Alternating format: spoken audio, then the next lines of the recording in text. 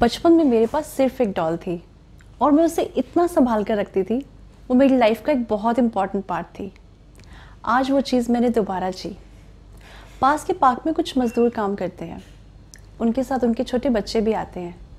मैंने ये डॉल उन्हें दी और शाम तक वो इस डॉल को अपने गले से ऐसे लगाकर घूम रहे थे जैसे उन्हें दुनिया की सारी खुशियाँ मिल गई हों।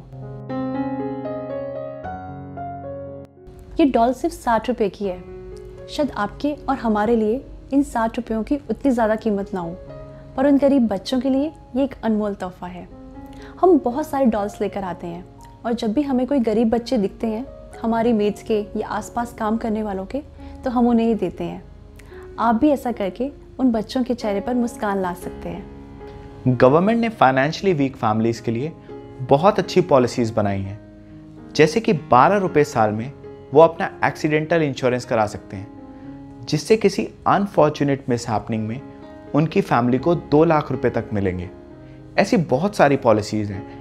पेंशन की लाइफ इंश्योरेंस की हेल्थ इंश्योरेंस की।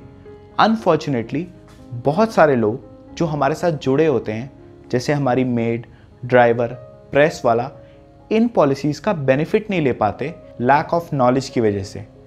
हम लोग उनकी हेल्प कर सकते हैं इन पॉलिसीज़ में एनरोल करवाने के लिए। हमारे देश में किसी प्यासे को पानी पिलाने को बहुत बड़ा पुण्य माना गया है।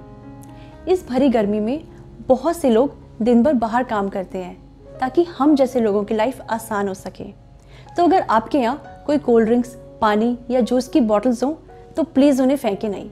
बल्कि नेक्स्ट टाइम जब कोई डिलीवरी बॉय सब्ज़ी वाला या मजदूर आपको दिखें तो आप उन्हें पानी की बॉटल दे सकते हैं।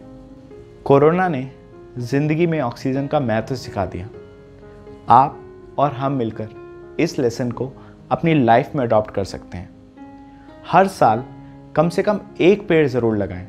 और अगर आप अभी पेड़ नहीं लगा सकते तो लोगों को स्पेशल ओकेजन्स पर प्लांट्स गिफ्ट करें, ताकि धीरे धीरे इस चीज़ की इम्पोर्टेंस हर घर तक पहुँचे।